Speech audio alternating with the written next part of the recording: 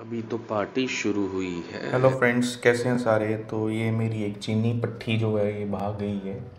सुबह मैंने इसको छेड़ा तो ये अब पता नहीं कहाँ चलेगी। पूरा दिन मतलब इंतज़ार किया इसका तो आई नहीं। चलिए जी, ये एक छोटी सी अपडेट थी, मैंने सोचा चलो आपको दे देता हूँ तो कबूतर भागते हैं, आते हैं, जाते हैं, टेंशन नहीं लेनी होती।